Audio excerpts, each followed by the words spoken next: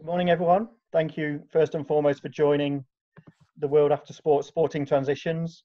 Um, I thought I'd just do an intro to, to say hello first. We've got 11 or 12 of us on the call so far. Um, hopefully, a couple more will join and um, we'll kick off. But let me first introduce who's on the call, and then I'm going to pass over to Phil Davies to provide some information. Um, and uh, we'll, we can crack on with the session. So, on the call so far, we've got Adam Jones from Quins, we've got Phil from um, from Leeds Rugby, Andrew Coombs, Alan Davies, Dylan Rick Parsons down under, Sean Long, Andre Snyman, um, Carl Hogg, Tim Stimpson, and Johan LaRue, and finally Charlie McCrone. So thank you all for joining. Um, really appreciate it. And let me pass to Phil. Um, and I'm going to help one of our struggling attendees just get in if that's all right. So, uh, Phil, if I may just pass over to you.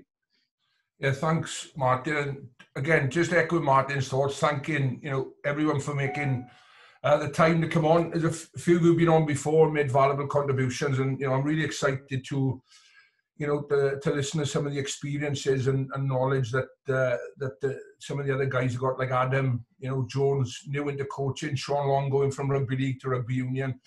Uh, so really excited about you know uh, hearing your journeys and your transitional pieces as with Andrew Coombs as well, Andrew going from playing into business, you know, and retaining a link with the game through his commentary and punditry.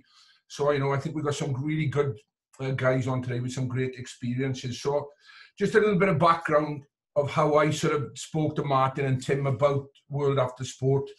You know, I looked, saw it on, uh, I think I saw it on social media, started having a chat with Martin. And what I liked about the initial things that I was reading and seeing and discussing was supporting the players basically. Uh, and that's always, you know, been important for me, whether I was playing as a captain or, or, or, or since retiring, uh, you know, coaching. But then I started thinking about coaches. What what sort of support is there out there for coaches? Um, it's okay when you got a job, it's great. And it's okay when you're going through your formal coaching education, doing your badges, the RFU, WRU, Scottish Rugby Union, South African Rugby Union, whatever it might be, that's pretty straightforward. But what happens after that in continuous professional development for coaches? Again, it's easy enough when you're in a job, but when you're not in a job, but when you're transitioning between jobs, what type of support is there?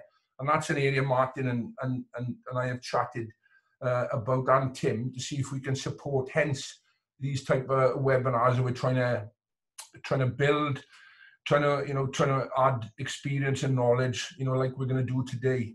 Uh, so what I, what I, thought I'd do is we we themed this particular webinar in, in respects of building high performing teams to be competition ready. Uh, and I'll just share you know one slide for context not to impress anybody for just a bit of context of of where my journey's taken me over the last 25 years as a coach and also just a clear why what how we've you know we've used over the years in terms of how we build sort of, as I say, high performing teams who are competition ready. There'll be a few examples from my Namibia days, which which Johan was very helpful uh, when he was commentating and giving me intelligence on some of the other Africa teams who were uh, qualifying or trying to qualify for the World Cup at the same time as us. So, if uh, I'll just go through the slides, there's only five. Uh, as, a, as a few anecdotes within them, and then we can perhaps discuss and and, and other people can share their experience and knowledge. It's no rocket science, as I say, but it just gives you a flavour of, of, of the journey uh, and the experiences I've been, you know, lucky to go on really. Um, so if you bear with me, I'll just try and share share my screen.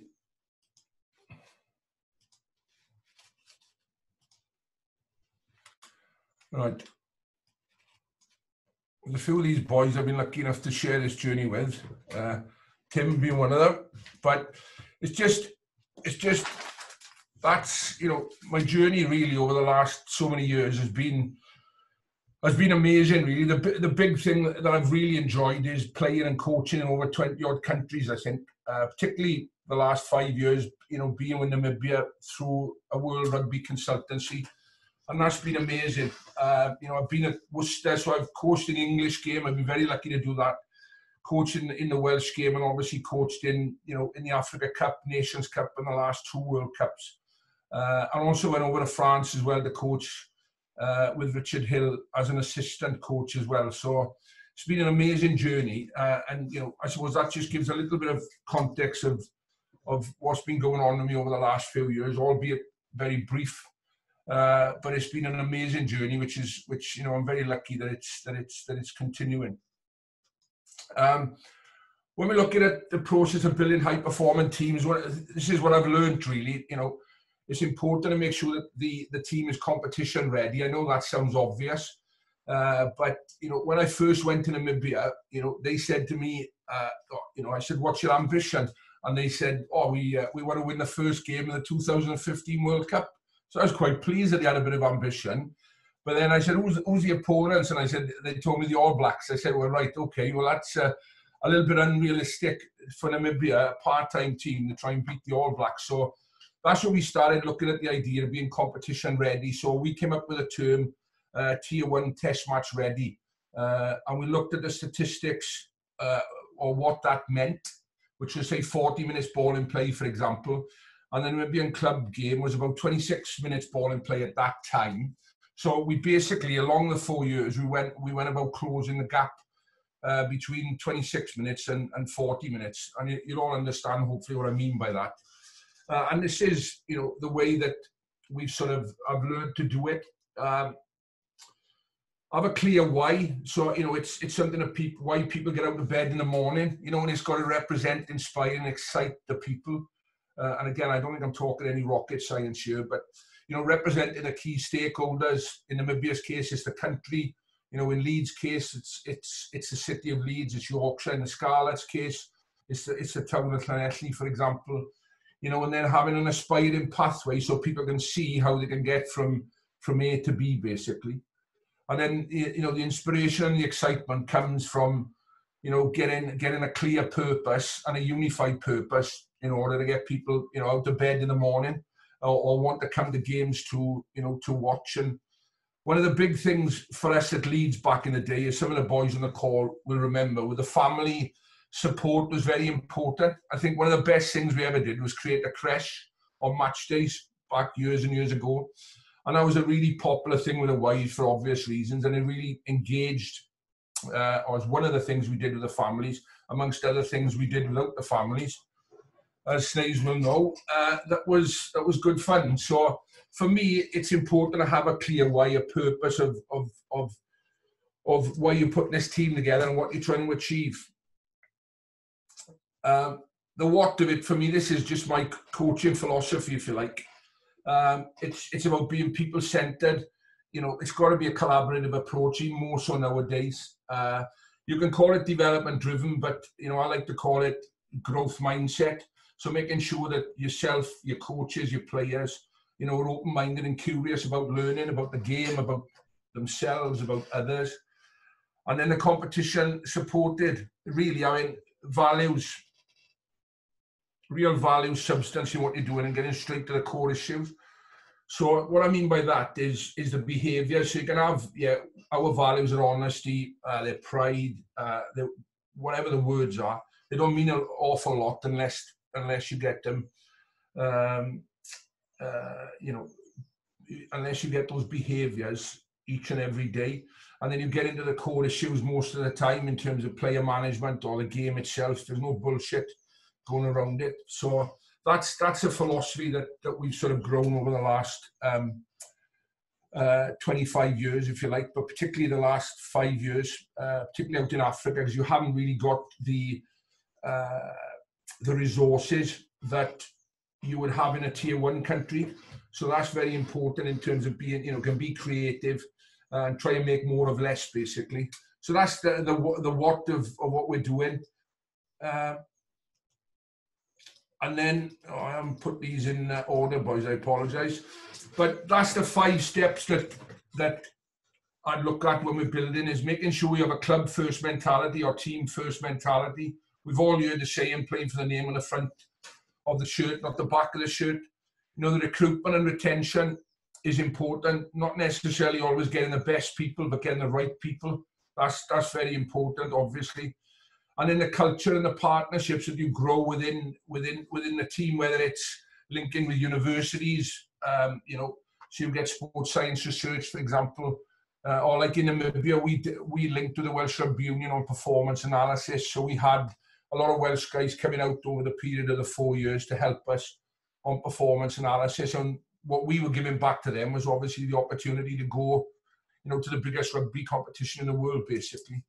Uh, you know, and then the culture is important, getting getting the right people, getting the right behaviours, but also getting an understanding of what high performance means. I mean, what I mean by that is in, in Namibia, their view of high performance was a little bit different to, to our view of high performance.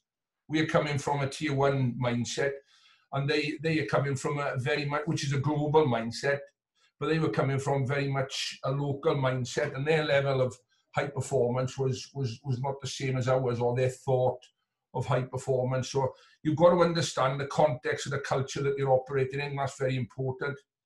Coaching, planning, and resource again. That's that's vital. Everybody talks about weekly or tactical periodization. How Eddie Jones does a lot. Um, you know, and we use weekly tactical periodization. I think everybody knows the learning days, the intensity days, the transitions, the speed days the game rehearsal, all that type of stuff uh, is, is important. And as the week progresses, it's more and more important that the players take over towards the end of the week. Our, our Thursday sessions leading into test matches would always be the players having um, you know a clarity session in front of the players and coaches in order to articulate the game plan or the themes for the game that we put in place during the course of the week. So there's a bit of panic on some coaches' faces but the more and more we got into it, the more and more the the the, the more and more benefits we come out of it. Uh, and finally, the fifth point is competition analysis. As I said, uh, understanding the, the, the realities of, and, and the levels of performance that you're going into. Um, so that's that's our that's my clear, you know, sort of why, what, how, and ultimately, you know, for me, I've got Leeds in here as an example. We're trying to rebuild that at the moment but it's providing a culture where, where people get those four things. They feel valued, they have a sense of belonging, there's, there's, there's a level of safety and control for them, particularly players in terms of knowing where their contracts are, knowing the situation is, is, is, is consistent, uh, and is trying to get the best out of, out, out of everyone who's involved, who's involved in the club. So that's that's a quick snapshot, Martin, gents, on on how you know, we've I've summarized, if you like, on how I, how I'm now trying to build teams on whatever level you are.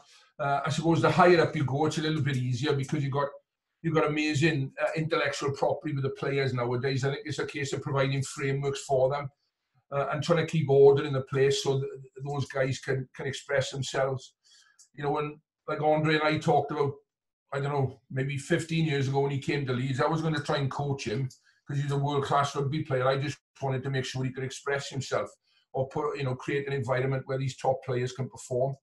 Uh, and he did, and, and and you know many others did. But the lower the lower you go down, the more intellectual property I think you've got to you've got to put in at the start. Uh, you know, and and there is a bit of um, there is you know there is a bit of autocratic coaching, but then you've got to try and move that into more of a more democratic type coaching and involve players as they develop. So there's there's different approaches depending on the levels that you're that you're coaching at. Um, and that's it from me really. Any questions we can we can we can we can obviously chat. Uh, hopefully there's something there that makes makes a bit of sense. And there's a process on, on, on how to grow grow a team. But maybe I, what I'd like to do, if you don't mind, Matt, is I'd like to maybe bring Sean Long in, Sean, and just maybe discuss how you found the transition between, you know, coaching and, and playing in rugby league and coaching in, in, in rugby union, if that's all right, mate. Uh, yes. So, hi guys. Um, yeah, rugby league. Obviously, I, I played it from being seven years of age, so it just come natural to me. Um, found the transition quite easily to, to professional. Uh, unfortunately for me, I, I, finished my career with an injury. But luckily, on the flip side, there was a job waiting for me straight away at Salford. So I jumped at the chance and went straight in from playing to coaching. I found that quite difficult, if I'm being honest, for the first 12 months because I thought I was still a player and acting like, you know, a player as it was. Um, but then after 12 months, I realised like I'm not your teammate, I'm your coach here, and I'm getting the two confused. Um, and then I coached professionally, you know, with St Helens and Salford and Wigan uh, for eight years uh, in league, and and I was just getting stale. Uh, I I played union at a lower level for a couple of years at Preston Grasshoppers, which was wasn't the greatest standard ever, but you know I, I, I had a a good idea of what was going on. Uh, but for me, it was just a new challenge, as in to go to Union. I've always admired the sport and always watched it, and, and just just to have a crack at it really. Um, when I first went down in June last year um, in pre-season, it was it was a massive shock to me. Like the amount of detail what went into everything, you know, whether it's a line outs, a scrummaging breakdown, uh, what players you could put on. Because I'm thinking you can put any play on. What are you doing in rugby league? Uh, but then obviously the most vital part of the game is breakdown. You know, if you lose the ball, then we're screwed. So for me, I was, it, and I'm still learning now. You know, it's it's been nearly 12 months now, and I'm I'm still learning now, and that's why I'm doing all these uh, webinars and, and speaking to other coaches, speaking to Bon and Toby Booth and Guzzy and Eddie Jones, and just speaking to them all about how I can improve as a coach. But I just found it at first. My job when I first went in at uh, Quins was, if you're going to run a play, then tell us how to run it better. So if you want to run this play, then then that was my job basically to run this play better than anyone in the comp. But as progress as it progressed, I've started to understand the game a little bit better. So I started coming up with new more ideas. Why can we not do this? Why can we not do that? Sometimes I get caught blocked a little bit, which frustrates me. Um, and and I'm like, uh, but then obviously with the furlough and on the coronavirus happening now, uh, we've had some time to rethink as a group and as a group of staff. We've had some time to think about, you know, ideas, what I was trying to bring in at the start, whether they will work. Because probably when you're thinking about it, a rugby league guy coming into rugby union, coming up with these ideas, they're going to go, nah, nah, piss off, mate. So I was a, I was a bit frustrated, but you know what I mean. Um, but now, obviously, with what's going on, we're starting to bring some stuff in, some new ideas uh, and and it's it's I feel more involved now. At first, I felt like an outsider, and I felt like I was just like just just like just say uh, Nick Evans wanted to run a play, then I, I'd tell them where to stand, how wide to catch it, which defenders to get to, you know, uh, you know how deep you need to be, and just stuff like that. But now I'm progressing as a coach, and uh, I am getting better, but I'm still way off and that's why you know it's going to take me a while. I'm not saying I've mastered it yet, but it's, it's going to take me another couple of years before I know the ins and outs of it because it's so technical. Sure. Longy you'll have to play a few more um, a few more games for the um, for rugby for heroes, mate. We'll sort your rugby union skills out. mate, I dislocated my shoulder in that game and flipping split my eye. I can't believe when I played for the uh, when I played for you Gloucester guys. Mate, if you want to play with the big boys, mate, you got to be able to pack it up, mate. I know. I wasn't ready. Used to smaller blokes. Positional sense. Go to the small guys. Can I just take you back a bit, Sean, to the um, the comment you made earlier about when you felt like you were still a player, but tran- that transition bit. How did you? What What was that moment where you went, "Oh, hang on a minute, I'm not one of the lads anymore"? And and how tough was that? Uh, yeah, because when you when you come from a player and, and you win as a coach, I felt like to get them on side, I felt like I had to be the mate, and I was like, and you know, hanging around with them, you know what I mean, and then. You know, I'd have the crack with them at lunch and stuff like that. You know, the coaching staff sat there. I'd still be kind of sat with the players, and I'm like, uh, and then then they'd be ringing me up saying, "Do you fancy going out for a beer?" And then I go, "Yeah, yeah, I'll go out for a beer." Yeah. And then then it clicked, and I thought, "Look, I'm I'm not I'm not your mate. I'm I'm your coach." And uh, like I say, it took, it took took a while. Took about twelve months, but some something just clicked in my head, and I thought they'll probably respect me more if if I become a coach rather than you know like, like a father figure rather than a brother or a mate. So something clicked in my head, and then and then all of a sudden, then then then yeah, I felt uh, I don't know, I don't know what the word is, but it just it just just clicked, and then I become a, a better moment. Really. Yeah, it's just a moment in, in what happened, and then I started becoming a better coach then because I started segregating myself from the players. I could think more. They wasn't giving me advice what how we should play. You know, I had my own ideas, uh, and, and still now you you always want to be liked as a coach. But for me, now I'm not really asked. It's you know what I mean. It's uh, you know I'm doing a job. I'm doing a job for the team. I'm doing a job for the club the fans, and also really just to uh, just to improve the team and improve the players to, to succeed. Really, and that's that's how I approach it now. If they like me, they like me. If they don't, they don't. But you know, I'm, I'm a decent person if I'm honest, and, and most some well, I hope I hope they like me. Absolutely, and I guess for me, I totally agree with what you're saying there, Sean. Is um, it's not necessarily about being liked; it's about being respected. That's the that's um, the word I um, was looking for. Respect. Phil, did you want to jump in, and then I'm, Adam, I'm going to come to you after Phil, if I may.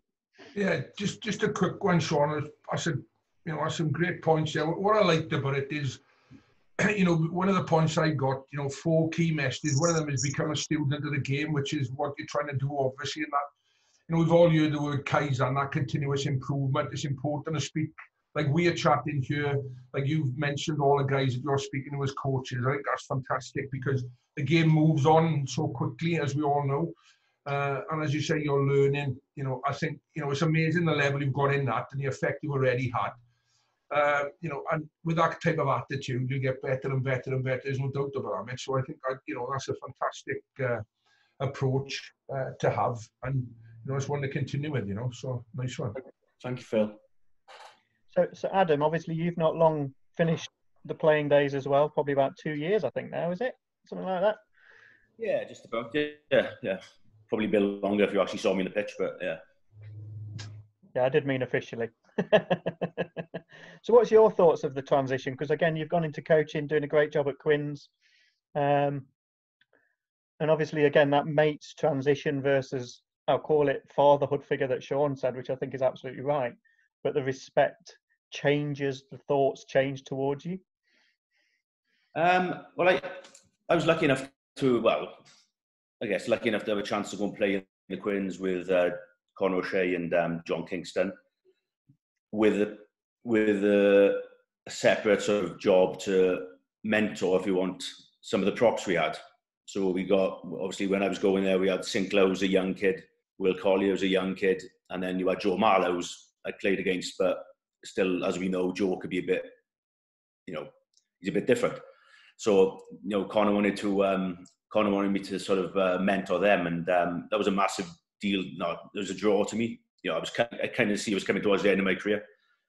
I'd uh, gone from a pretty, you know, quite high to then all of a sudden a massive low, you know, being dropped and retiring and all this stuff. And um, so it's something I always wanted to do and it was a perfect chance and um, perfect chance to work with you know these up and coming props two different you know in will and kyle two very different characters one's you know from a council estate in battersea and one's in a slightly more affluent area and, and uh, you know a slightly different background and then obviously uh, Marler and the other boys but as I said um, I was very lucky to do it I was lucky to have the chance even when I wasn't playing involved, John Kingston, you know, give me the chance to coach from. So I've been tech, I've been scrum coach really now, probably about three or four years really, because I had, you know, I sort of dipped my toe in with um, when I was still playing, and then when Graham Rowntree came in, he allowed me to take the scrums, and uh, you know, it's been a constant, um, you know, it's, it's been a constant I've been doing now for three or four years. So what I have found is a lot same with Longy because I played with the boys, I, you know, I find it hard to critique them or to be too hard on them. So it's always, it took, it's taken me a while to realise what the different personalities needed. So, for example, someone like Kyle would need needs an arm around his shoulder. Well, it did then, and he's probably not so much now. But you know, whereas Joe, because I played against him and, you know, because I'd done pretty well against him, I was able to tell Joe, you know, I was probably one of the lucky coaches. I can tell Joe, call a spade a spade sort of thing, rather than having to like listen to some of the bullshit he puts up with. So you know, I was you know, uh, but I did you know certainly around. Um, I found it hard to. I was a bit pally with them and still played with them. Gone from even when I was playing, I still coached them a bit. So you know, I found that pretty difficult. And then again, for me, the big thing for me is, was I'm always it's always learning as much as scrummaging is very. You know, it's pretty black and white what you do, but you know, there's always little different um, technical issues, different traits, different what. So it's it's probably not as complicated as attack, but you know, or a line out maybe, but you know, there's always stuff you're learning, and there's always stuff. You know, I guess I went in with a bit of an ego, thinking, yeah, I know, I know everything about Scrum, but certainly in the last three or four years, I've learned I probably don't even know 75% of what's going on sometimes, and so it's always building up and learning different techniques, different traits, and um, you know, I, I watch a lot of Scrum, so you know, probably done what, you know, as long as he watches a lot of rugby, you know, scrum's kind of the thing I focus on first and foremost, and then I'll watch the game after. So you know, it's a lot of. Um, I think, as I said, I, I, I, probably have to leave my ego to door a bit, and um, you know, I am I'm more open to ideas now. You know, I'm open to the boys challenging, open to um, certainly. Um, it's not just my way of the highway. It's my, you know, we're happy to, you know, we have a good discussion with the front row now. It's kind of um, we meet you know, every Monday up in Starbucks and SSP, and we, you know, we have a more of an informal chat. And um, any clips I need to show them, I'll show them. But it's more of a, um, you know, a coffee club, and rather than, uh, you know, we all know it's the probably the toughest position on the field, being the front row. So it's, uh, you know, it's at a take, you know, make it as easy as possible for them. And I guess the the point you make about video is that that plays a bigger and bigger part all the time. So being able to replay and and say, look, have you seen how you're not binding quite right, or you know the feed's not working whatever gives you a real opportunity to share and discuss easier yes it's a lot you know some a lot of it's done on the sunday and then uh, individually on the monday but i think certainly with certain players with us and when you come to the scrum you know it's lot of it's attitude and sometimes we haven't quite got that so it's trying to get that coax out of them which sometimes we have but we're so inconsistent at the moment this um, that's the frustration this me then again as a point Chris Robshaw made to me at the end of last year that I needed to manage my frustrations. Being slightly, I'm not, I'm not hot-headed, but and it takes a lot to sort of wind me up and bridle me. But um, it would take me a, um, you know, it's I, I guess coming from Wales, you get bollocked more. You know, the coach would shout a little bit, like having Lyn Jones coach me. You know, you know these type of guys, they, they're a little bit more straight to the point, and the Welsh boys kind of take it a bit easier for me than the English boys, certainly in Quins. So, you know, when I, where I was trying to be hard and shout, you know, just get my point across, Rob would just said, look, you know, we don't need that. So, as you know, I've certainly tempered my um, losing losing my shit so much now, and um, you know, it's it's all done. I try to do it in a slightly less um, aggressive, confrontational, annoyed and angry manner now. So, um, which is something I've learned over the last sort of six, seven months. So you're learning new skills then yeah. I think it's, because I'm, I do, you know, like most scrum coaches, you know, you love scrummaging and love the scrum, and you just get passionate about it. And when the boys are, you know, not quite where they need to be, when you know they can be up there a lot better, it's, uh, yeah, it's how I um, manage my frustrations around that. I think has been a big, um, a big learn on this year. If um, sorry, Martin, if I just can uh, yeah, just go. jump jump in there with Adam. I mean, I, I 100% understand where he comes from in terms of the the frustration that he's talking about because I think us older players when uh, when we were young kids 21 years old and we come through the rank and you turn professional and eventually you play the game at a high level you I call it as you've worked hard to get to that point not that taking away any hard work that the kids are doing now I'm just saying, I think our circumstances and the way we got to where we got in, the, in our careers were a lot harder, tougher than what the kids have now. Um, with the academies and all the video analysis and, and and and diets and all that stuff. So for me to come to a training session and I see these kids messing about and they're not switched on, as Adam said, uh, for to the right attitude at training, it's frustrating because you like you you think to yourself, you're a self entitled little brat. You know, everything is done for you. Everything, uh, the, the way you got here was easy. Yes, you still have to do the hard work. Yes, you got to go to gym. I get it. But I think they just got it a little bit easier. So, and they, and they lose track of perspective of where they are in, in life and where they are and what they've achieved. I don't know if that makes sense to you guys or Adam. I don't know if you agree because you work oh. so hard to get there and you think these kids just rock up and they just mess about and you're like, dude, and you don't want to give them the I told you so speech or the when I played. It's not about that. But unfortunately, we had a, a longer, bumpier road to get to the top where these kids today they have an easy road to get to the top. And I, I, think they forget that you know at the end of the day it's it's it's a privilege to be there and in that position and to wear that jersey you know? So they, they got to understand where our passion comes from. So i don't know if you agree with that adam? Yeah no i think um you know certainly i think again charlie mulchrone will have probably a better input on this me as he's the, in the academy of the quins but they seem to think um certainly the senior academy boys with us and the impression I get of them is the front row boys, they, they've made it already. Yeah. Where they, have exactly. got their tracksuit, they, you know, everything's, they get paid really well for academy. they've got their house to live in, and this, and there's no, um, and you know, there's a couple of say two players we've got. Um, I found is this is a constant battle to try to get them. The good, very talented players. It's a constant battle to get them to you know train hard to put you know do the work, do the extras, do the throw in. Yeah, they both hookers. Funny one, you know, doing the little bits to make them that better because and one's gone up. One was like a superstar coming through, like under 18s, 16s, and all this. But the other hooker who probably wasn't as good as him has gone above him because his work rate and work ethic is a lot better. So you know, we do you know reward boys who work hard, and um, yeah, it's just trying to get that the entitlement out of it, which you know I'm sure is in same in every club, but uh, something I've definitely noticed up in uh, Southwest London. Yeah. Brilliant. Well, thank you both. Okay, let me come to um, Andrew Coombs, if I may. Um, Andrew, obviously you took a slightly different transition, um, but I'm sure you've had some of the very similar challenges when you went into the business world and also into media. What was your thoughts?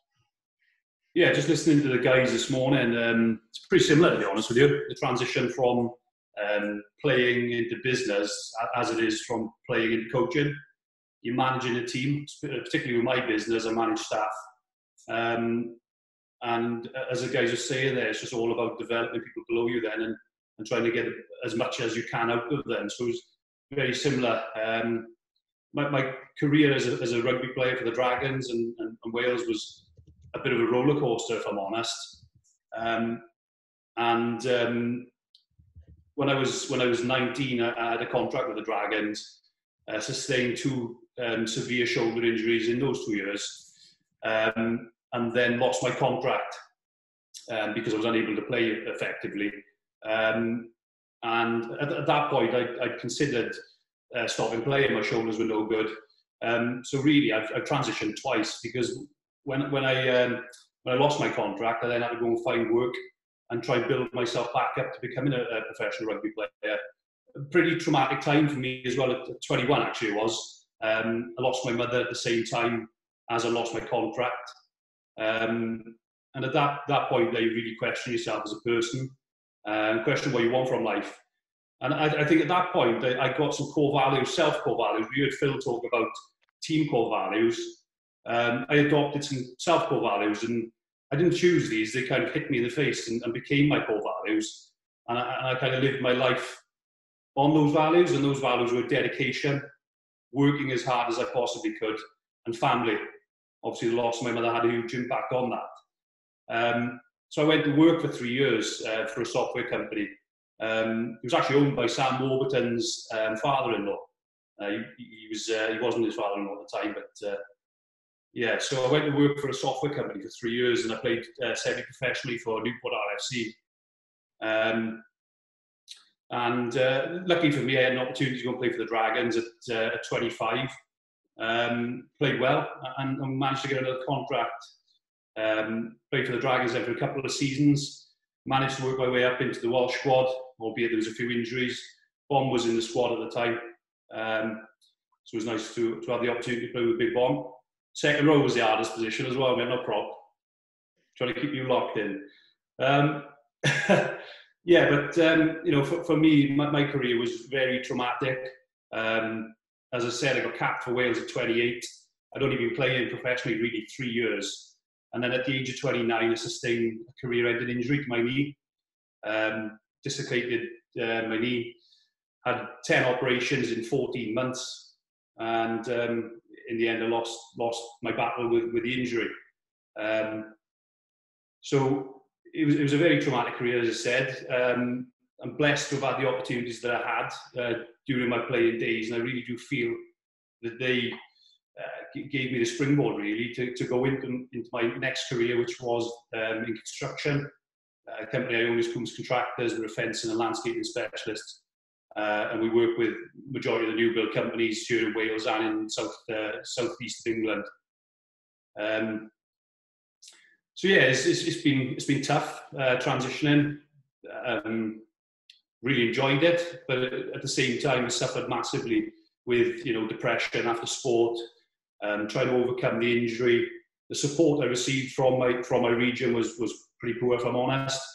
Um, and I think like I've, listened to the to the other chats you guys have been doing, and a lot of it's been around the transition after after um, rugby and what the clubs could be doing at the moment to, to educate the players and ensure that they're getting education behind them to go on and after their career. And if I'm honest, it is difficult for the clubs. Um, you know, they're paying the players a lot of money. Um, you know, they're in a results-driven industry where if they're not winning, coaches are under pressure, management are under pressure, and directors become under pressure. Um, so I don't blame them in a way for trying to get every ounce out of the players they possibly can um, because there is a, a, lot that goes on behind the scenes. Um, for me personally, my experience, I think there's things that clubs and regions should be doing post rugby for players that wouldn't cost them anything, wouldn't affect their business in any way. Uh, and that is just put an arm around the players. Since I left the Dragons, I've had no contact with anybody really. Uh, not not for the first three years. Then a, a new CEO came in, a chairman, sorry, David Buttress, who gave me a call when he came in uh, we sat down, had a coffee, and discussed things. But um, yeah, for me, just a lack of um, relationship post career, inviting players back to games, making them feel part of, you know, what was their uh, family. As, as, Phil spoke about, we we talk about um, core values and talk about becoming a family. Well, when you when you when you retire, that shouldn't you know you shouldn't not be part of that family anymore, in my opinion. Uh, uh, yeah, um, I think longevity is a, a, key, and making you feel valued now and in the future is is is huge. And I'm going to bring Alan Davis in if I can. So Alan, just prepare yourself and come off mute. But Alan, years ago, you did some work. Obviously, you work with Quins, uh, which is the tie with Adam and co. But you also did quite a bit of work regarding player welfare, um, and the you know the WRU did look to do things um, in the past, we've talked about the RPA and the clubs as well. Um, I, I, couldn't agree more with what Andrew's saying. That you know, the arms around people is is free of charge, um, effortless in many ways. Um, and but we, we need to also, I guess, encourage the players to get involved in that as well. Yeah, um, good good to touch base, guys. Um, obviously, the Welsh boys probably know me better than um, than anybody, but uh, yeah, I've been involved for the last twenty years now in um, you can call it personal development in sport. Um, I was one of the original uh, what was known as the ACE advisors, athlete career and education. Um, Coombs Bomb and uh, Phil will still refer to me as Ace, um, so that, nickname has stuck.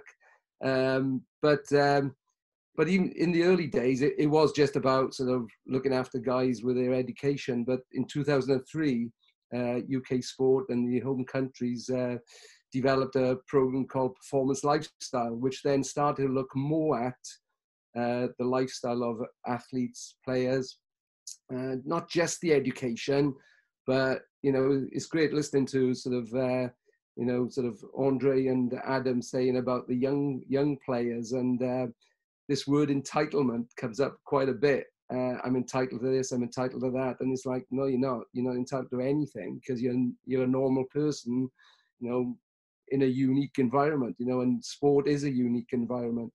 Um, but the, the the great thing about sort of personal development is like it's taking the individual. So it's not seeing the player, it's seeing the person. Um, no, no two individuals are alike.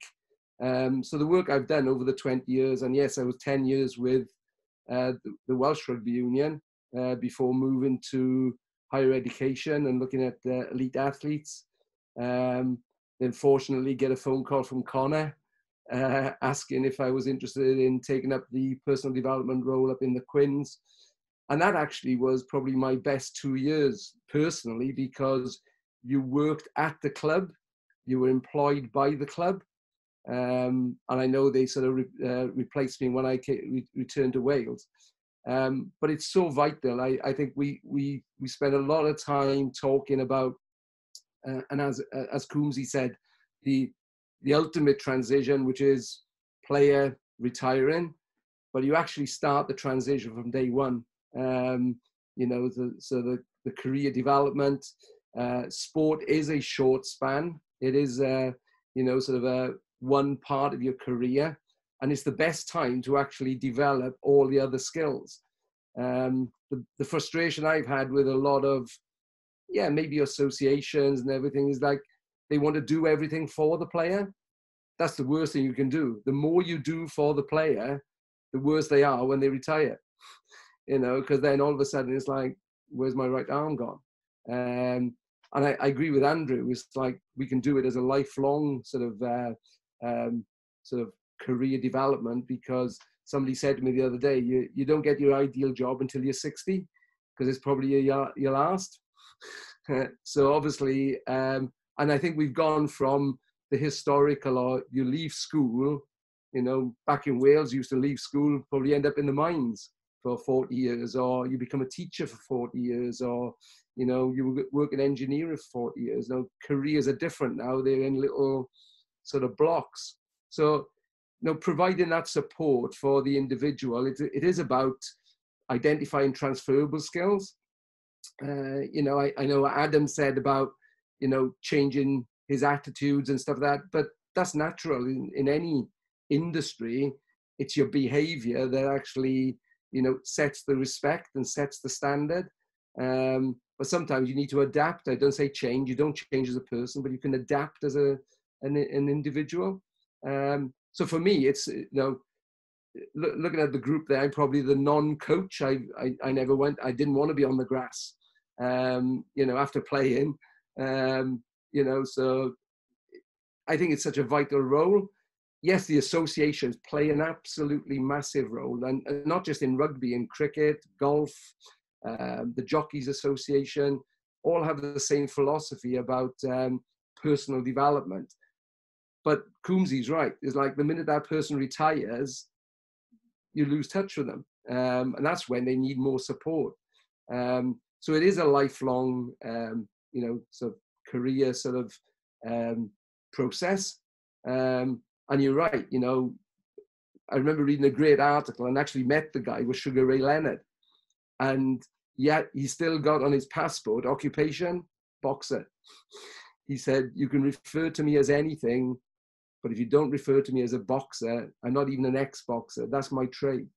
But even in retirement, he's gone down a route of his own personal development of a business and you know sort of running his business, learning and uh, continually learning. So, and, it, and it's been great listening to all the guys uh, in previous uh, conversations in terms of, you know, the importance of personal development. But I think the way forward is that when the club, not an association, but when the clubs, and I know Quins are one, um, Saracens were another, and Wasps, I think, were the only three in England employ somebody as a personal development manager. So, um, you know, that, that that's the way forward, I think, for, for everything.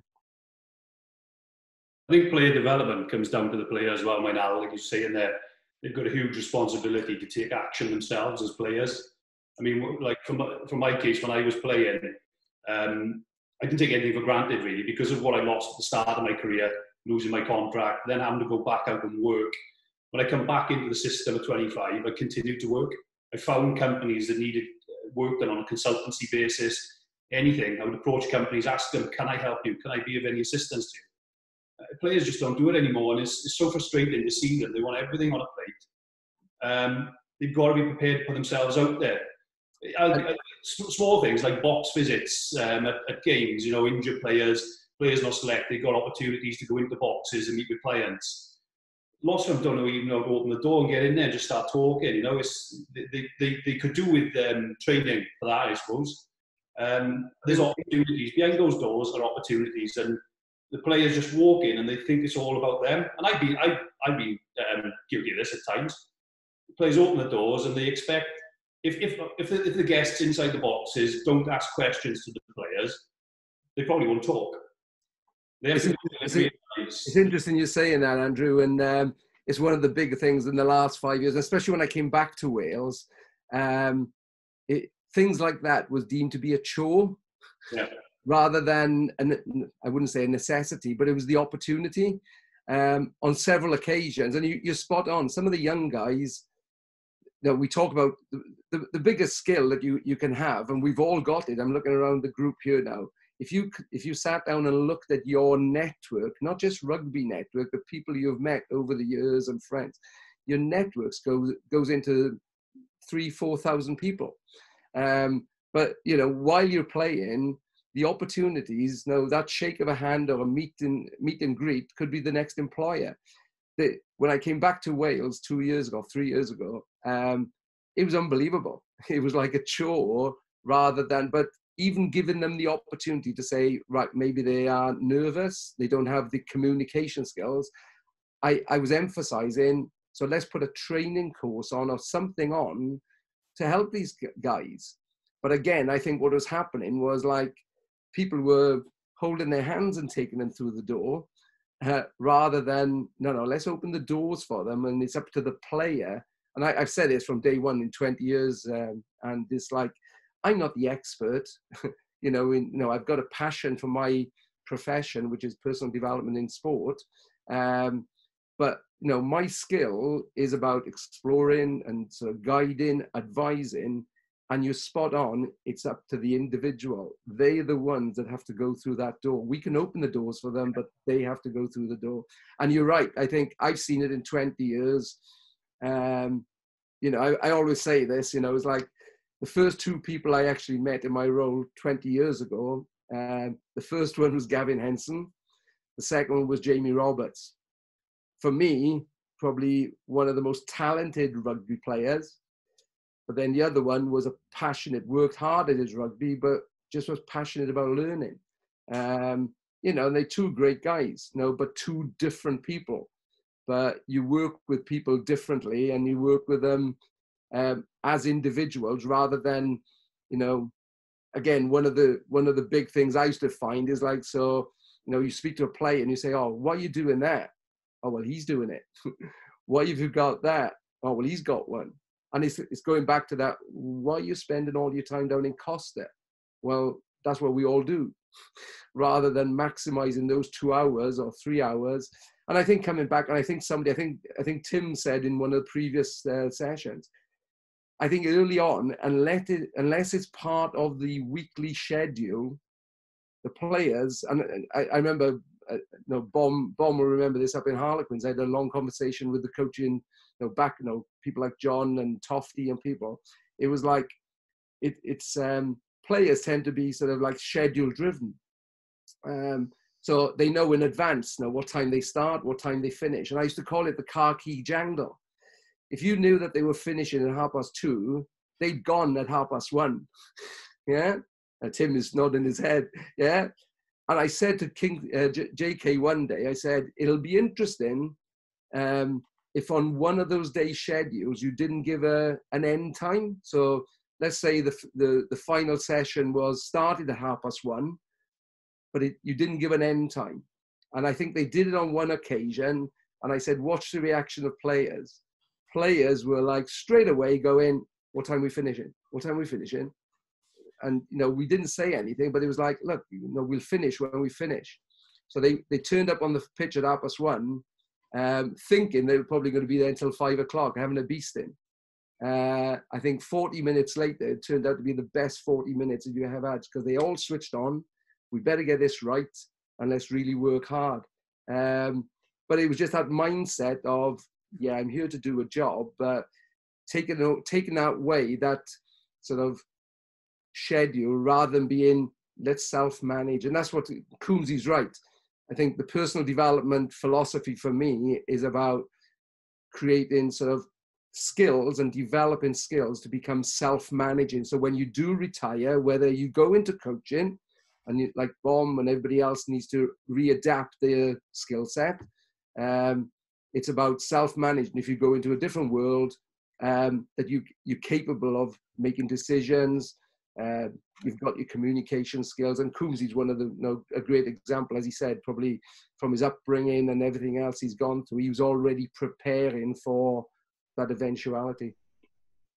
I think I'm looking at it from a business point of view as well. I'll, obviously, I've gone from being a player who's expected the club to do things for me, who, who who's expected the club to put things in place for me post career.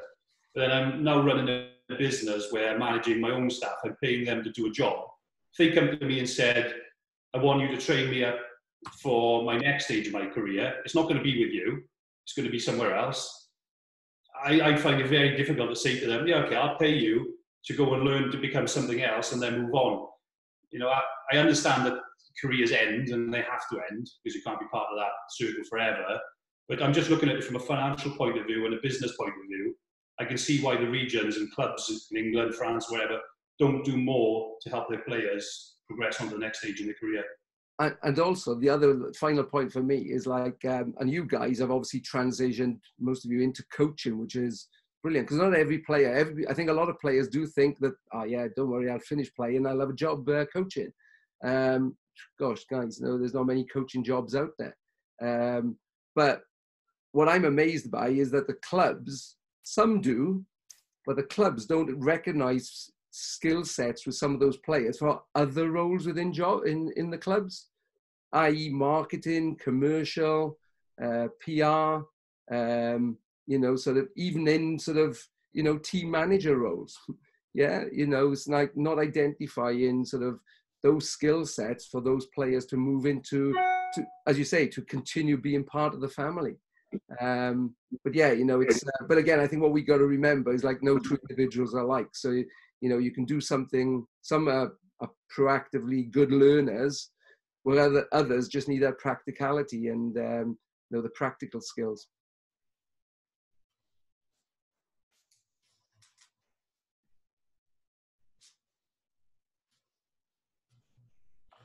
Mark, you're on mute, Mark.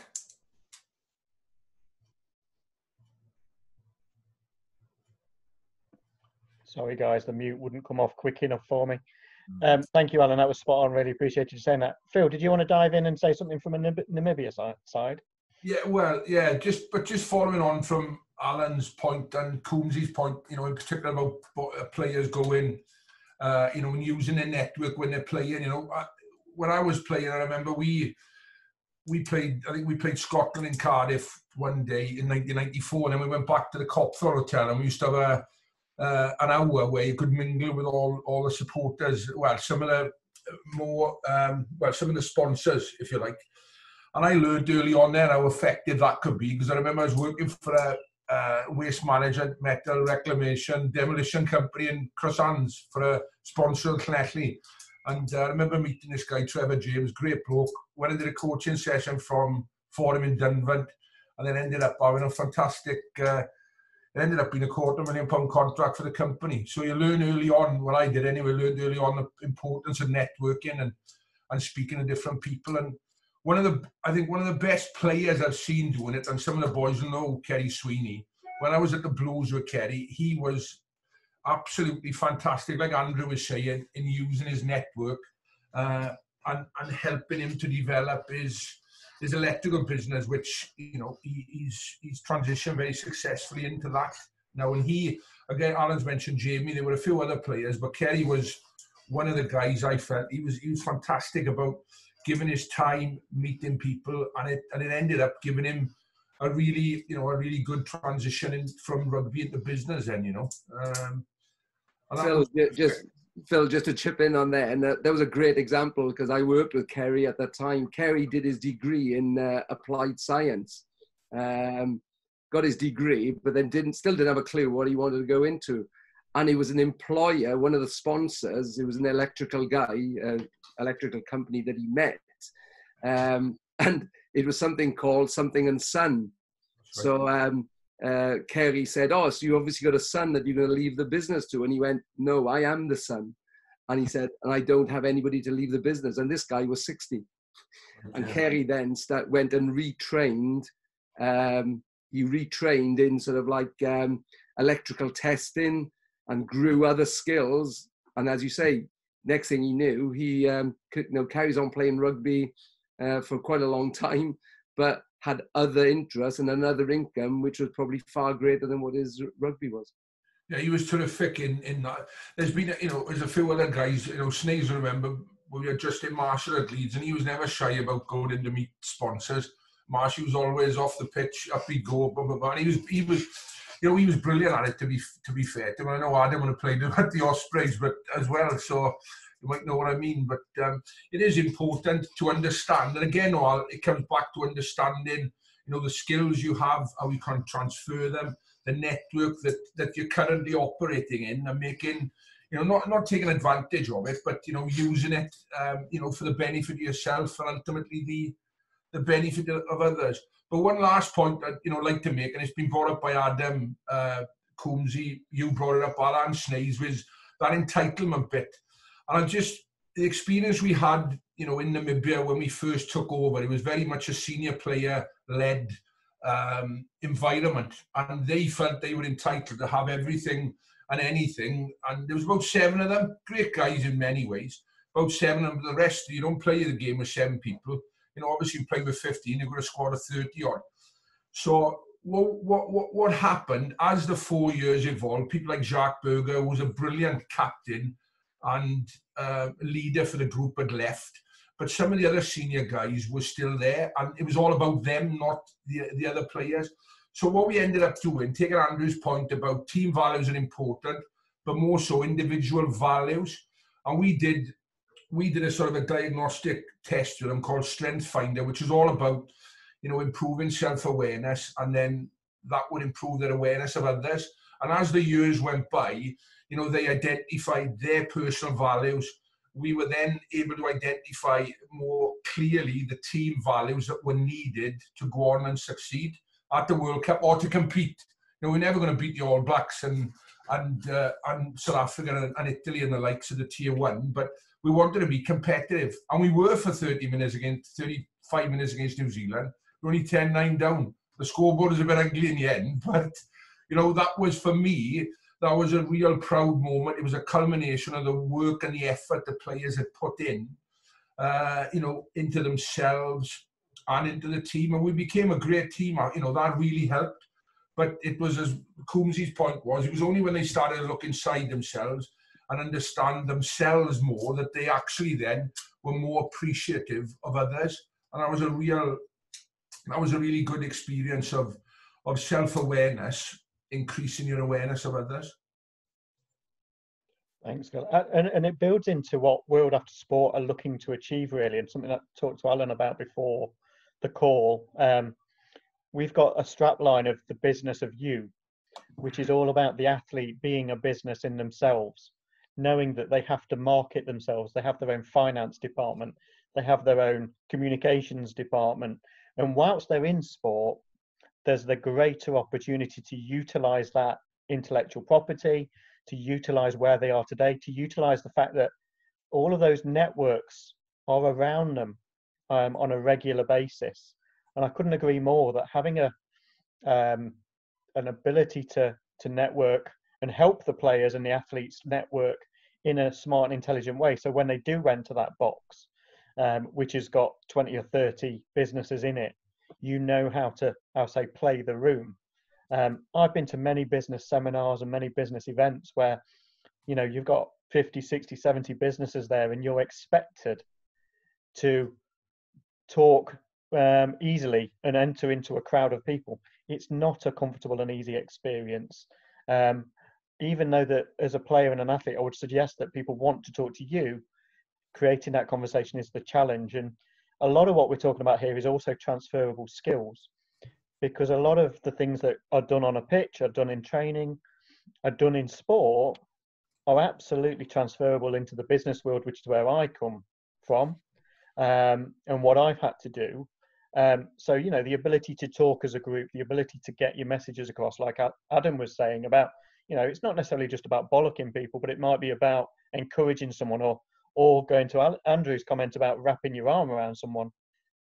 Everything we do as leaders, as people, is about identifying that people are different.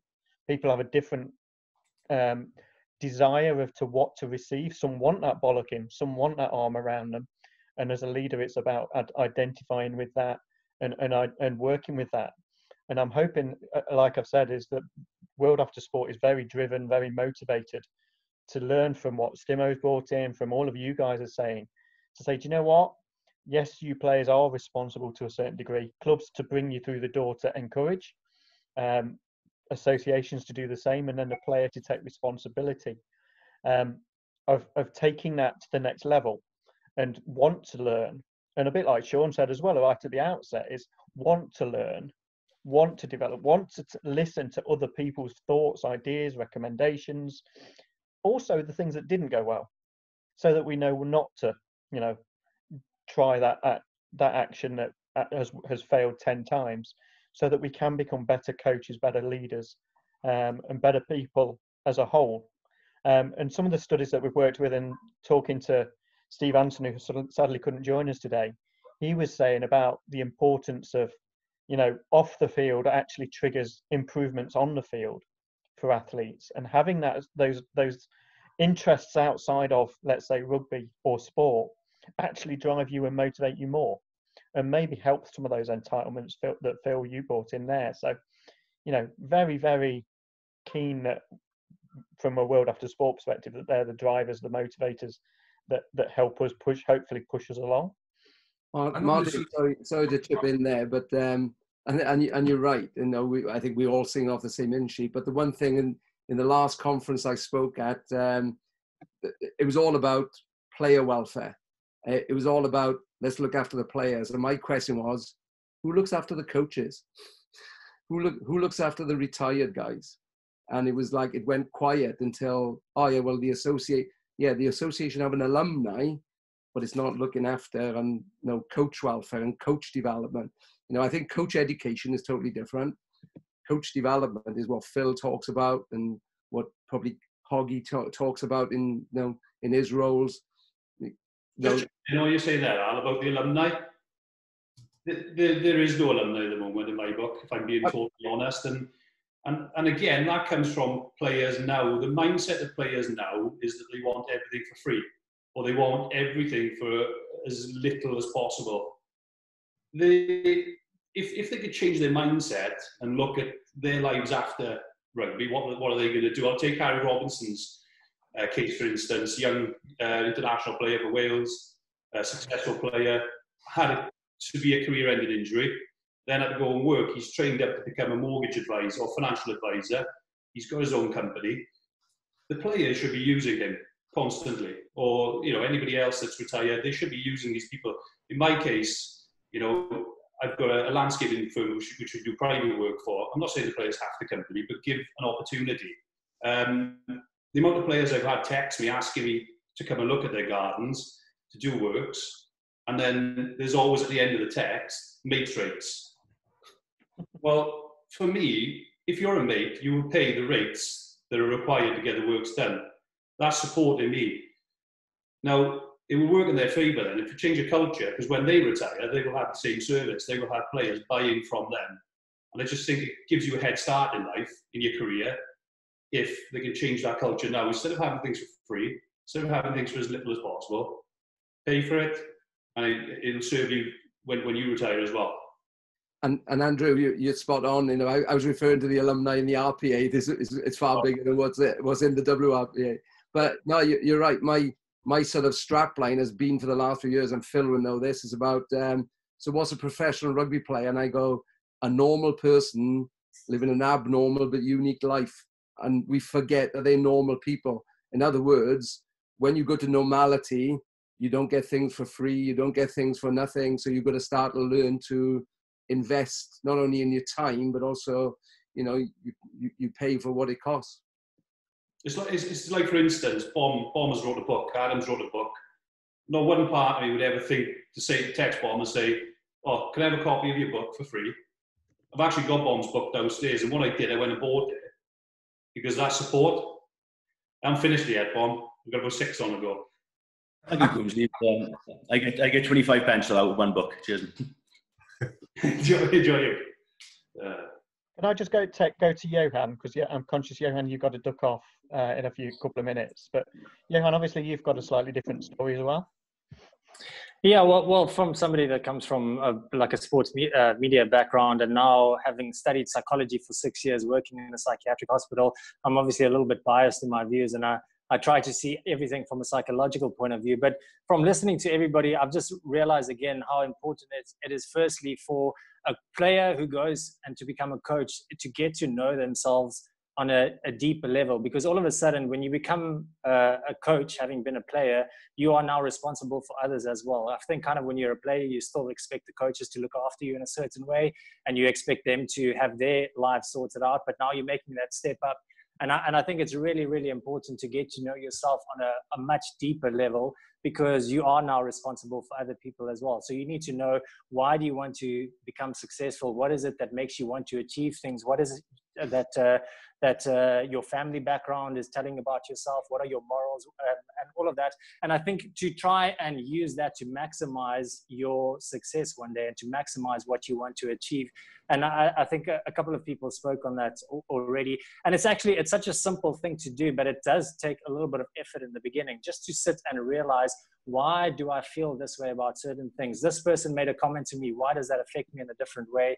And uh, just to do a lot of introspection as well, because I think doing that will make you much more effective as a coach as well because you'll start to realize patterns in other people's behavior and patterns in other way and, and the, the things that your players are also doing um, and I, am really encouraged by by andrew's story because obviously he's had some huge events happen to him and the way that he's been able to deal with it and the success that he's been able to make um, of, of himself uh, I'm, I'm really inspired by that but but I think those events, losing his mom, uh, and and also those those injuries, forced him to do a lot of introspection as well. And and I think you mentioned there you you thought about your core values and you became kind of became more self-aware. And I'm sure that has also um, that has that has benefited you a lot later on in your in your different careers as well as difficult as it was during those times you, you mentioned there um, going through some some depression uh, phases as well. And and yeah, like I said, I'm really inspired by that because I think some players would get to those points and not be able to handle, not being able to handle that, and and they might crack and they might fall off the wayside. But uh, obviously, you you had some inner strength, and I'm sure some support as well to be able to do to do that. And then I think also to transfer some of that learnings onto the players as well. Andre mentioned there players coming and they feel entitled. The young guys, they maybe have a little bit of an easier road. But I think it's also really important to try and understand why do they feel entitled? What is their family background telling about themselves? Their paths might have become a little bit easier and try, just trying to get you behind that a little bit and understand where those feelings come from and then try and work with that. Um, and I think a lot of players and especially coaches do have that capacity. I think some players are a little bit more complicated and you need a little bit of a deeper insight and maybe somebody like a, a, psychologist to kind of work through some of the players as well. But I think until a lot of those issues aren't resolved, you're not going to be able to get the player to as high a level as you can. Some players have the natural talent and they'll be able to go to really high levels without doing that. But in order to get the best out of the players, I think it might be uh, that, that's something that's really important. And then, yeah, lastly, I also I think Phil mentioned in the beginning um, about meeting different players' needs, and I think it just goes back to to Maslow's hierarchy. Um, and and it's such a simple concept, also just to be aware of. Uh, constantly is is what are these players needs? And firstly their physiological needs. You need to be able to feed your family. You need to be able to feed yourself. You need to be able to sleep well at, at night. And then secondly there's a safety and security. And i think that's going to be a massive thing going into the future after covid-19 passes because i think there's so much uncertainty at the moment. Am i going to get paid? How much am i going to get paid? Am i going to have a job after this? In order for the players to really be able to reach that self-actualization level at some point those needs need to be met first. And I think that's going to be a really tough task for the CEO of the companies. And I think there, that's also where the coach has a really important uh, uh, role to play is just being that link between the players and uh, the different uh, the management levels in the in the sides as well. So yeah, it's, uh, it's, it's I've really enjoyed this this talk and I, have really learned a lot from from all the different uh, coaches in this uh, in this chat as well. Brilliant, thanks, Johan. Tim. Yeah, I just think Johan's done a brilliant um, synopsis of what's been going on, but comes right back to what Longy said. I think right at the start was you know the, the northern phrase of being cock blocked. And this is this is going out there, but um, the idea that you got to understand what the, the fears are of the other coaches that you're working with. And once you understand what their agenda is, uh, aligned to what your agenda is, you know, basically, unless the culture is right, unless we all believe that we're doing this for the team, and it doesn't matter whose idea it is, but we'll we'll all agree that the idea is the best idea. We'll all get behind it, and that'll become our philosophy, and we'll back it. Yeah. But if if if we've all in this conversation been having to realise that you know, um, out, you know, maybe I've been a bit aggressive and I could bollock people in Wales because that's how I was brought up. But down in London, you're going to get offended. And people, so we've just got to understand the art of communication that Alan's been talking about, and understanding how how does my impression on this room impact on other people. And if you can understand what you need, then you can be motivated forever. Then you can understand what the impact of your behaviour has on other people. And when I was working with Phil at Leeds, it was so important to make sure that we had different voices leading the group. Um, so it wasn't just Phil banging the drum. I remember walking with you, Phil, at seven in the morning. You were asking me stuff like, you know, how is the feeling of the players? And it was a different voice. It might be the scrum half one day, the fly half the other day, a forward. But we were making the same point to get the message across, but rotating the strike. Um, and it's just understanding um, I think as a coach, these are these are these are the most important transferable skills we've got. As a player, you're self-resilient, you overcome adversity, and I'm inspired by you, Andrew, massively from what you've done. Um, but then going on into business or into coaching, the job is just a hundred times harder. You've got to be aware of how everybody's emotions are tied up with their behaviour, and and giving people the benefit of the doubt, putting the arm around the shoulder, putting the extra yardage in, extra time with all those players so that they believe that you're as a coach going to help them achieve their dreams. So for me it starts with finding out from the player what do you need? How can i help you achieve that that mission? This is our plan. And for me the business of you is um, is another way of saying how can we help each individual coach individual player uh, understand their strengths and know how to market and sell their strengths into the community into the culture so that everybody feels you're an asset not a threat uh, I found that in I got labelled the professor. Shit, man, I read one book, but in a, in a rugby environment, that was a threat to a lot of coaches. So the the important thing is is understanding the fear, making sure that people around you know that you're on their side. You know, you're a friend in the butts. You're you're, you're basically we're here to to achieve the same mission. Nothing I'm doing is trying to put you down. Uh, everything I say is for your benefit, and together we'll go and achieve uh, bigger dreams than we could ever possibly dream dream for on our own. Um, so really, this is it. I, I completely agree that when I left rugby, I had a real struggle in transition. I just took jobs from from people in order to earn a living. To be honest, I was coaching and I was doing my development as a coach, but I was living in Chiswick in London. I couldn't afford to carry on coaching. I had to go and get jobs with sponsors, and I had to earn a living. So for me, I'd like to be able to give back to coaches and players. So you've got more of a plan um, you know more about your strengths. So, for example, if you know your strengths, you can go in. You can you can choose a club to work for, in the knowledge that they need you. You're not just being given a job because you're a name. You've got to work out the culture that you're going into to make sure that that's going to inspire you to be the best coach you possibly can be. And unless we spend time introspecting, uh, like Alan's been saying, learning about ourselves, then we're going blind and we're certainly not blind as players. We spent 25 years developing those skills, so we're going to have to invest in our coaching career as well. But hopefully, we can invest um, the development as, of, of, the whole person, so that we are very good coaches, very good dads, um, and very good in business in the end. That's enough. that makes sense, guys.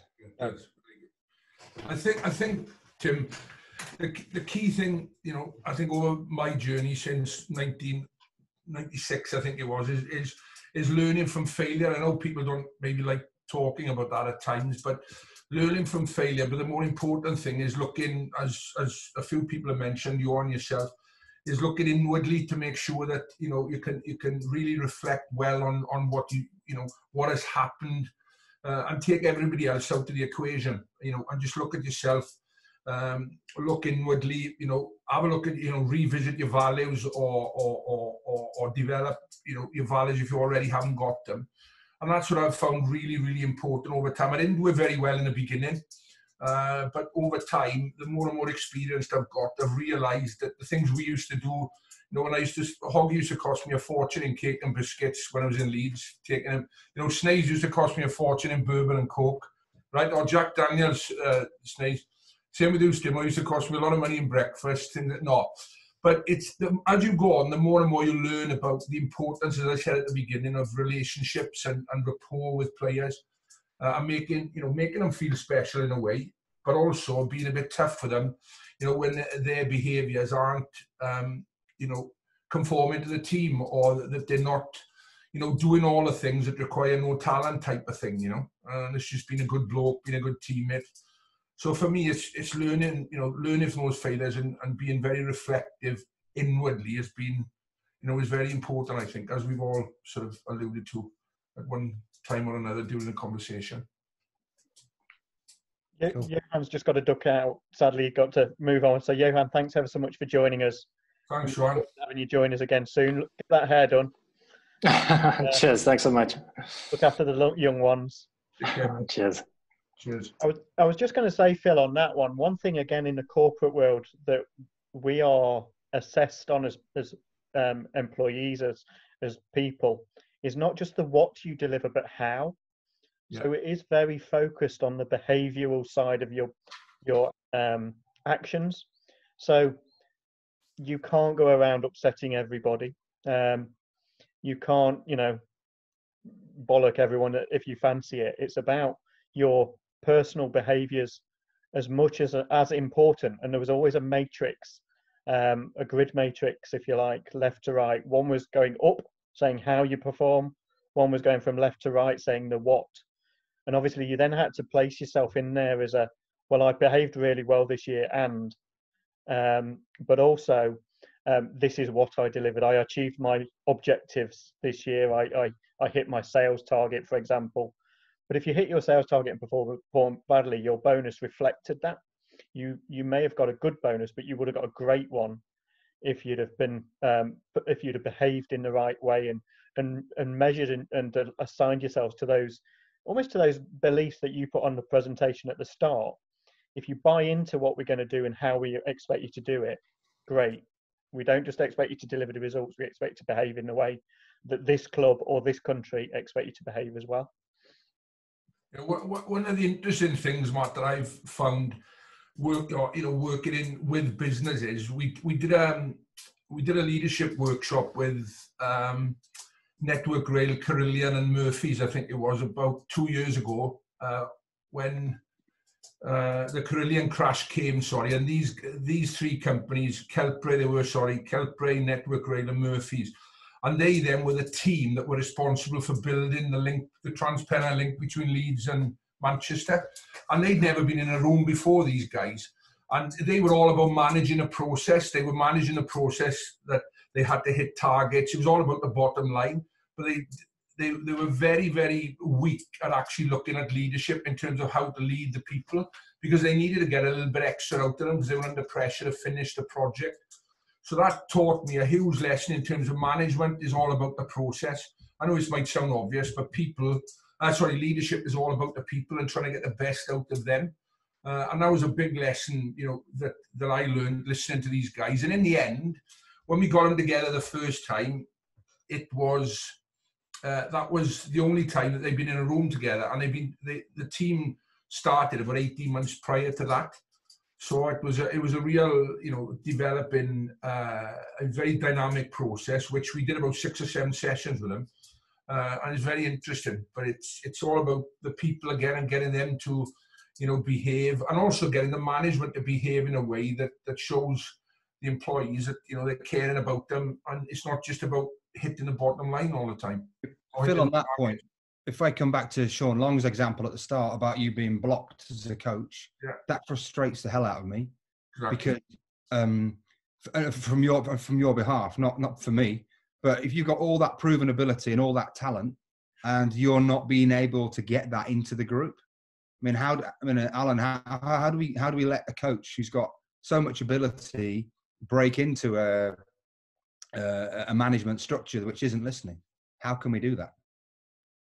It, funny, I've, as as I've been listening to the conversation and um, just through experience of the last couple of years, and um, you know, I always remember you know being up in Quins with James Horwill. Now he was opposite; he didn't want to go into coaching, but didn't want to know, um, you know, sort of where he wanted to go. And very similar to to Andrew. So in the end, it was like, okay, let's get you in front of or as an, as an observer on, you know, other boards. so it could have been like, you know, Sport England or EIS or Surrey Sports Park and he did. He, he actually went and sat in on a couple of the you know sort of just board meetings. And after about two or three, he started realizing, oh my God, how similar everything was to what he'd developed over the last 12 years in the rugby field, because it was all about teams, it was all about performance, it was all about you know guys going off sick and you know how do you replace them, just like injuries.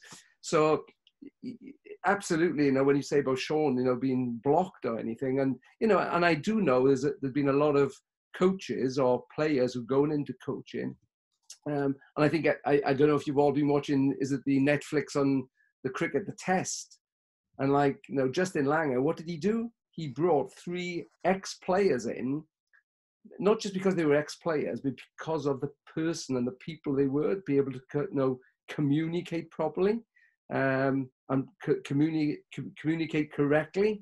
Um, and it's about somebody, you know, giving that opportunity. And I think it comes from the top. Um, if you've got a leader or a head of rugby or a director of rugby who recognizes your skill set, the players may take a long, long time in adapting to that person's skill set.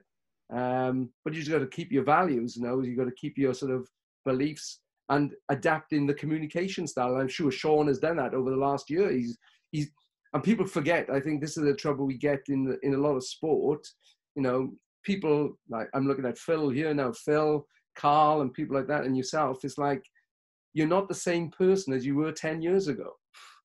You know, and people, but people do. Oh yeah, I remember him playing. Oh, he's a you know, tough nut, or he's a hard nut. And oh yeah, I remember Coombs. You know that. But then when they sit down with them now, they go, oh my God, look at the experience you got, look at the skill sets you go, because they're different in a different climate, different environment. So, um, so it, it, it is about so that that transition from playing to coaching and just having your own beliefs, not changing your values, but adapting. And it's adapting through learning, you know, learning and experiencing from other people. Yeah, I think we can. Uh, we were in a conversation on Monday with a couple of lads who've gone into teaching, uh, Rob Rawlinson, Dan Scarbrough, and they were thinking, "Oh, I, w- I was hot then, but I'm not now," and that and I don't agree with that. I think they've just got to carry on adapting and remembering they've earned those skills that'll last them forever, and they've just got to learn almost to know how to get them out those those transferable skills and how to really un- they were undervaluing their own talents. And i think it's really important that for all of us and this is part of that network maybe and that remembering that we are quite an elite group of people. Not in an arrogant way just we're quite different. And I think, um, but we then have to earn and earn the right to be high performing in our next environment. And we, we can help each other do that rather than all go into our own little silos and hang on to our one sponsor and stop talking to each other. And I think it's it, it does come back to what uh, Johan was saying is about self awareness. Um, a lot of people talk about, you know, I spoke to Bomb about mentoring. They, a lot of people use the word mentoring, but actually there's a skill to mentoring. Mm-hmm. You know, you don't tell people, if I was you, I do this. you'd really work with them to say, what's your thought process? Now, what, now, what do you see? What do you sort of, you know, sort of think? Uh, but have you thought of this? And you start doing, you know, explore for them to come up with a solution. And once they feel more confident, they go, oh my gosh, yeah, I can adapt. I can transfer skills and uh, and that's why I keep on coming back to it. It's like it's brilliant listening to everybody and after 20 years and you still have you know no, and Coombsy will back me up here. You will still have personal development managers in association, everything, who will do everything for those players, and they'll do anything for them. But again, it's like, yeah, you know, he's doing a good job. He's a good crack and everything. You've got to be a critical friend. You've got to be that sort of, you know, encouraging and exploring because at the end of the day, it's about developing your skills, you know. And as you say, you become a different person then 10 years down the line. Yeah, and we want everyone to take responsibility and ownership for their own development. So when I sat down with Martin, you know, a year ago, and we talked about how do we start offering some sort of solutions and support packages, one of the things I said was I want the players to be invested in it or the coaches to be invested. If you're giving it for nothing, then they'll treat it like nothing. Um, so it's this that real catch 22 that we want to we want people to invest and be and, and, and then demand results and then you'd be far more engaged in your own development rather than being given something for nothing and then saying oh well i'm not going to bother. Has anyone else got any got any questions or thoughts? You know we've we've been rabbiting on a bit and there's a few guys i don't know and i'm sure you've got can, things to if add. I can just i just want to come to a couple of people to know first if i may. Um, there's two words that i like to think about when we, with all we've talked about and then i'm going to come to you dylan. Um, leadership and management. And the reason i say that is because i used to think i wanted to be a manager I thought the manager was the pinnacle, the biggest thing in the world, and you know, um, actually being a leader was the thing that I really wanted to do and still want to do. Um, you know, I'm not here to tell people what to do. I'm here to encourage people, support people, give them the backing, give them the understanding. A bit like we've done, Tim, with um, with some of our stuff, is is really just it's it's helping them on the journey, not telling them how I I think they should do it it's opening their eyes and opening the doors and opening the windows to say, here's the way, mate. Take your pick which way you go.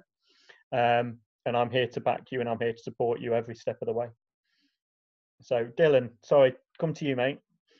Uh, all good. So, I think it, I'm probably coming from a bit of an academy biased uh, position here, but a lot of the stuff that the messages have been coming around has just really triggered the, I think, the importance of that academy period and some of the topics we spoke about last week around having structured, uh, structured ingrained development programs in our academy, academy systems to get you know potentially two to five years of a player with this type of skills outside of rugby and by the time they actually get to a professional you know alan was talking about things were a chore for some of these players around going into and meeting sponsors and all the rest but all of a sudden if they've had two to five years of conditioning of all the, the skills outside of rugby and like Ando said last week, it's it's making them aware of it's, it's the journey. Rugby is not just their end game; it's just part of the journey. So that awareness to you know really see value in meeting these other people, and you're not just a rugby player, but you know, I think this can really set them up post career. It'd be a lot easier transition uh, when we get him in those earlier years to try make it not so much a chore to them.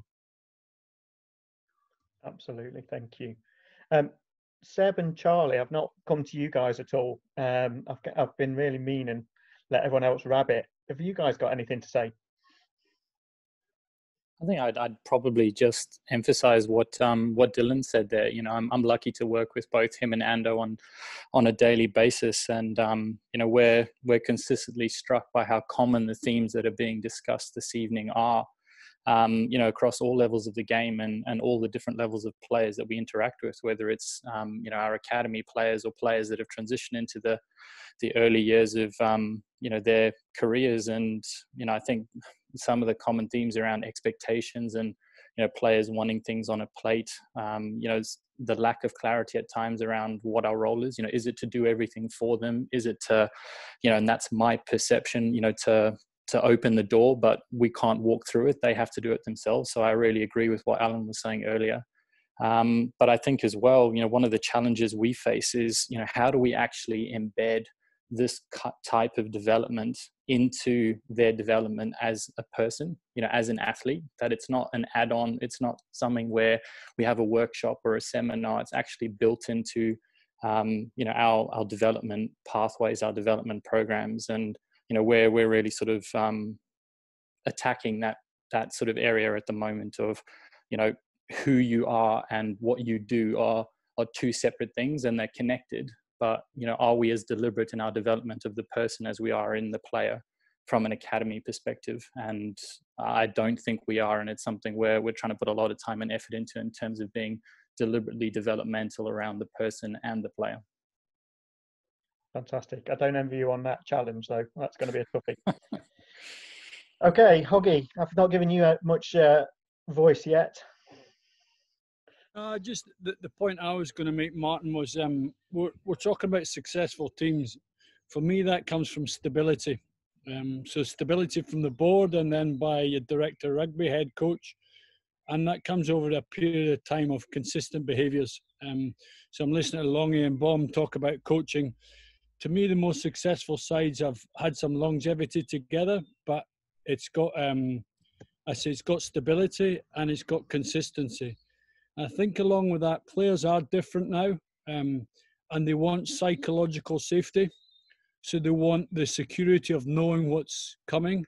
And I think we, as a rugby fraternity, we can look or we can take care of that psychological safety by also looking at their transition post rugby because if I'm a player at 24, 25, and I'm not sure what the future looks like post 30, that, that can create an angst in players. And if we as a rugby organisation can remove that by putting in what you're talking about, world after sport, putting in stepping stones or putting in a process that can look after that, that creates psychological safety for players, and I think that will get success on the on the rugby field the, the one thing I found really interesting from Coombsy was as a business, I've seen it as the clubs having to invest in the players' future, in their education and, and their transition. But as he says, why should you? Why should a club invest in somebody that they're not going to get the direct benefits from? Now, hopefully, you get a performance benefit in the rugby side, but um, any other business wouldn't invest for somebody um, to upskill themselves to go to go to a different business. Um, you know, we're talking about who finances, who invests in this program.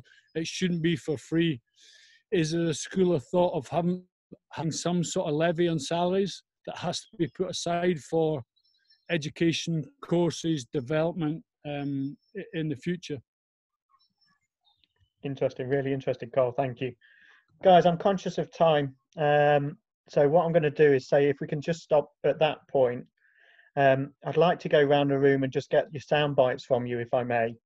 Um, ultimately, it's just a very short. What have you taken from today's session?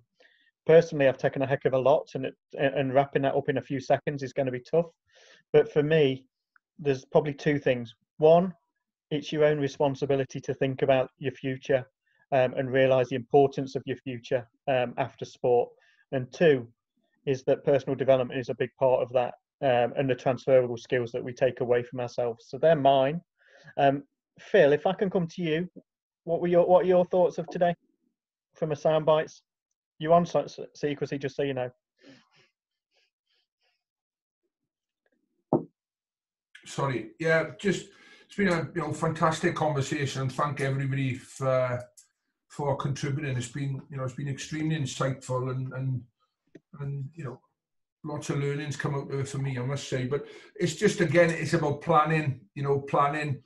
Uh, you know, for the next, well, planning during your playing or coaching career, if you like, for, for your next transition, whatever that might be, you know, and getting to understand yourself a little bit better, self awareness or development of self awareness is important. So, planning and self awareness, really, for me. Brilliant. Thank you. Andrew, what's your thoughts? Yeah, thanks, guys. I really enjoyed today. It's been really beneficial for me personally. Um, I've tried to look at it. Uh, what can I learn to adopt into my business? And certainly, I think the uh, the IDP is a big thing for me, being a, a, director of the company and trying to help my staff grow. So I think that's something that I really need to do and put into my business. I've learned a lot about that today uh, from from everybody. Um, and just from Phil at the start, I can't believe I've never heard this term, but uh, play for the name on the front and not on the back.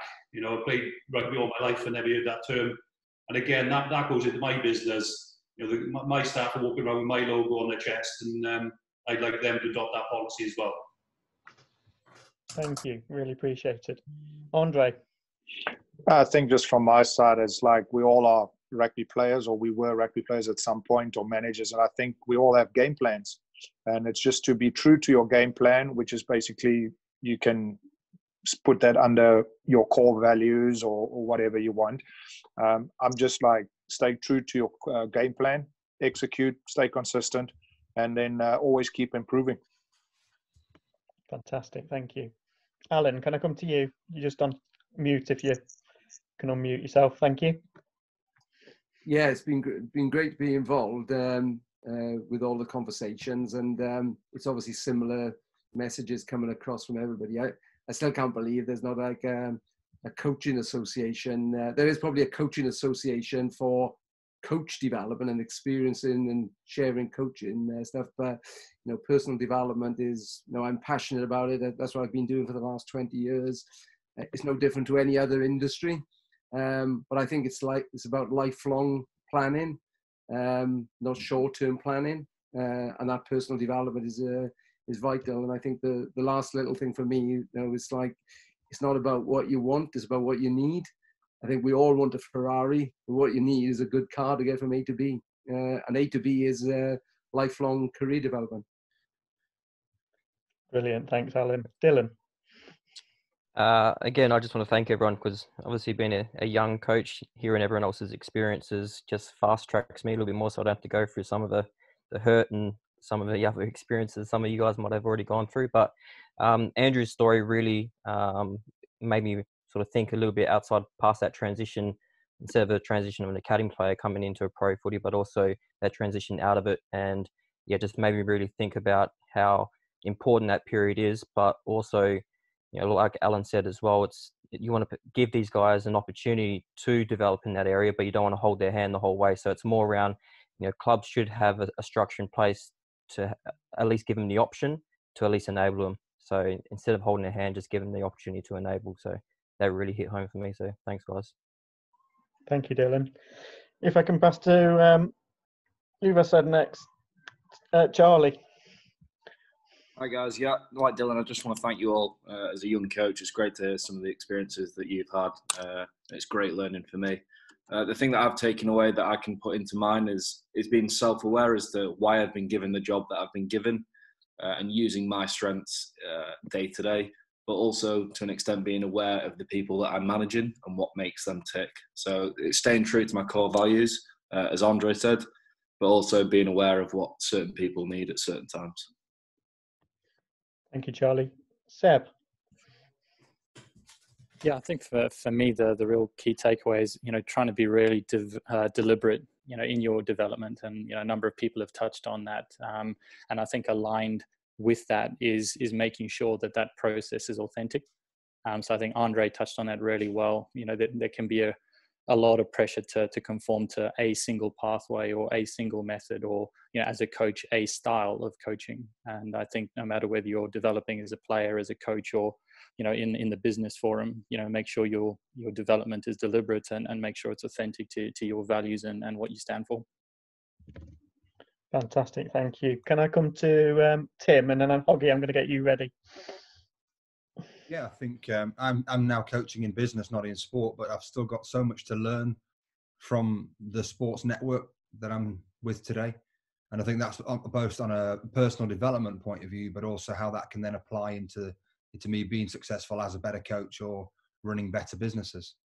So there's so much value in this network and in the alumni that so creating this personal development network for coaches and people beyond the game could be so so valuable. Brilliant. Hoggy? Yeah, I just think the education um, of players and staff of the need to get personal development courses. I think at the moment, uh, players certainly um, they, they end up just waiting, waiting till the end of their careers, but trying to educate them of the need to get personal development, not just players but staff. I, I think that's absolutely critical. Fantastic, thank you. Andre, I can't remember whether I came to you, so I'm just going to quickly ask. No, you already asked me. I said uh, just stay true, true to yourself and your game plan. Forgive me. Forgive me. No worries. It's age. Don't worry. too many names, too many pieces. So, Phil, I think you're going to wrap for me on that one. So, what's your thoughts? Um, just to to finalise. What about Longy? Oh, Longy. Sorry, Sean. I'm right in the middle. Oh, geez, you, you. You got cop blocked again. Sean, over to you. Uh, Make it good. No pressure. To be fair, fellows, honestly, I've listened to every single one of you. I've learned so much of every single uh, person today. Um, um, I, like I said, my, my journey is, is starting at the bottom of the pile now in, in uni. So I, have got to learn. Um, I like what Tim said about understanding yourself and uh, investing in, in myself as a coach, um, my behaviours as a, as, a, as a coach and as a player. Um, and then just just what, what we spoke about before about treating people differently. You know, some people might need an arm around them, some people might need less info, some people might need more info, uh, some people might be a straight shooter. So just understanding myself and understanding the players uh, who I'm coaching, and I've learned a lot so much. Thanks, thank you very much. Brilliant, thanks, Sean. Really appreciate it, and great to have you on. Hopefully, you can join us again. Um, so, Phil, is there anything you wanted to say before I close the call? You on mute, mate. Yeah, just again, just you know, thank everybody. It's been really interesting listening to all the different you know experiences and and the sharing of knowledge and you know uh, from those experiences has been great. So just thank you very much, guys. And you know if there are if there is opportunity to put you know stuff out on social media in respect of you know what you've taken out of the calls, uh, what you've taken out of the calls we've just been discussing, that'll be fantastic. But thanks again. Stay safe. Okay, brilliant. Thank you ever so much, Phil. Thanks everybody. Really appreciate it. Um, for those in Australia, wish you a good evening. For those in the UK, um, wish you a good rest of the day. Enjoy the sunshine and stay safe, as Phil said. Thanks, guys. Have a good one. Thanks, boys. Cheers. Thank you.